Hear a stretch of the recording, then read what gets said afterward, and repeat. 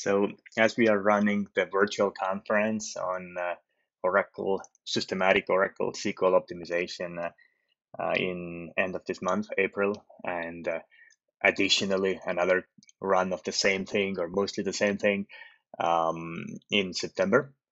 So um, I'll give you a short overview of what's coming and then the, why do we have such an agenda, right? So uh, um, last time we did this conference um, with the same speakers, um, well, Mauro uh, wasn't there 10 years ago, but, but anyway, we did this last event 10 years ago. Um, we ran a couple of online virtual conferences. One was about SQL tuning, one was about Exadata. So, and since 10 years have passed, I thought let's just run another, another one with mostly the same speakers, right? And uh, or well, all the same speakers from the previous time, but um, Mauro is showing uh, some hardcore optimizer trace reading to us this time additionally, right? So anyway, so here are the dates as you see, uh, two runs of pretty much the same thing. Um, here are the speakers, Cary Millsap, Jonathan Lewis, Kerry Osborne, myself, and Mauro Pagano. And um,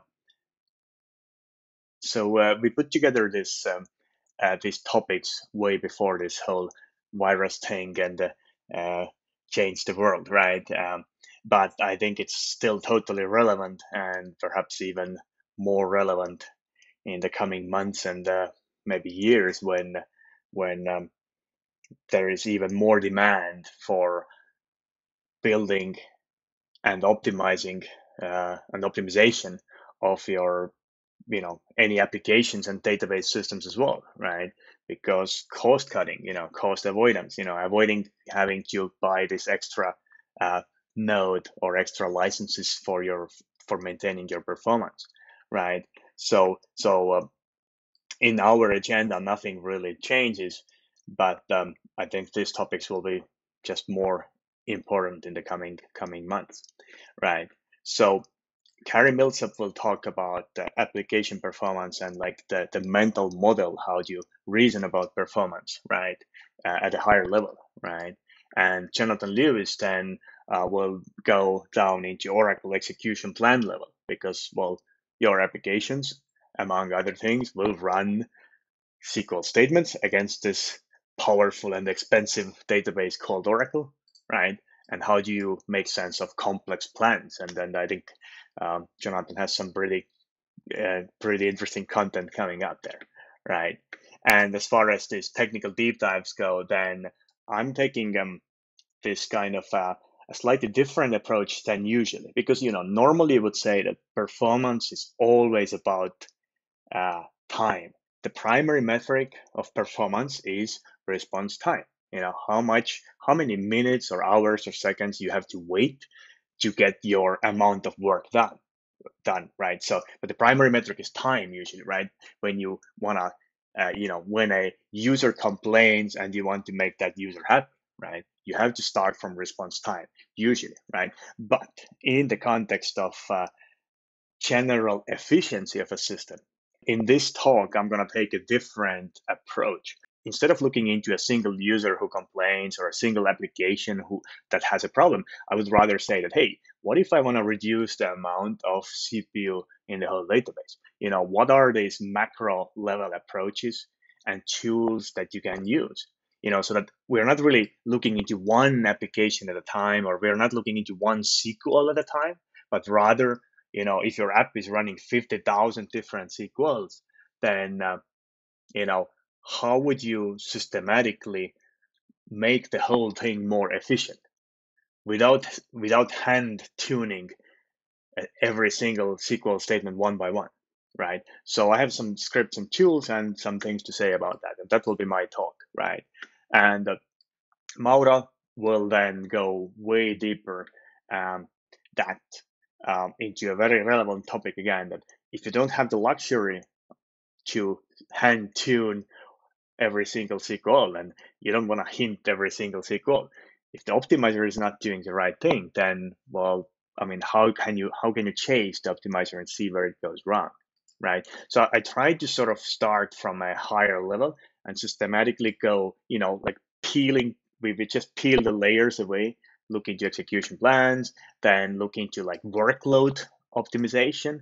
You know, once all these execution plans get executed and maybe are using your indexes or not, I mean, how would we, you know, optimize workloads, entire workloads, um, uh, you know, when these plans are executed, right? And now, as a last, the most detailed uh, talk will looking to optimize your decisions, right? And Kerry will also do a, something like a short keynote.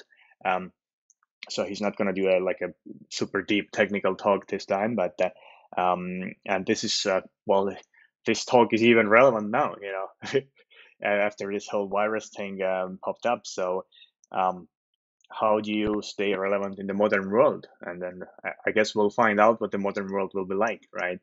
Um, but um, like uh, my, you know, one of my comments here is that uh, I think that the trend that already was happening, that more things got automated, things that 10 years ago somebody did manually every morning, these are these are automated now or if they're not automa- automated now in your shop, then in, in your cloud provider, they are automated, right? So a lot of these repetitive things are automated.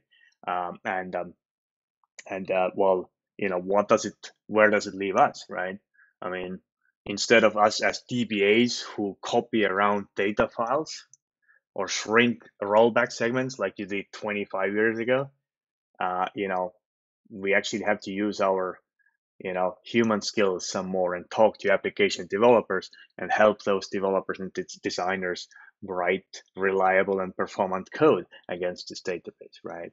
Um, so uh, and obviously there are other trends as well like this whole cloud uh, movement to the cloud and uh, it will be interesting to see how that how the new world will affect that. Anyway so these are just my opinions the stuff what i will talk about as well.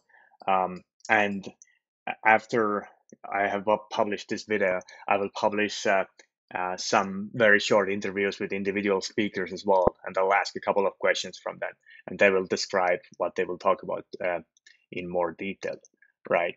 And as a last thing is like it just to say is that uh, I, you know, we, we want to make this thing, this event like a conference. I mean, the name is a virtual conference, and that's why we have added plenty of uh, Q and A time, breaks, uh, speaker panels.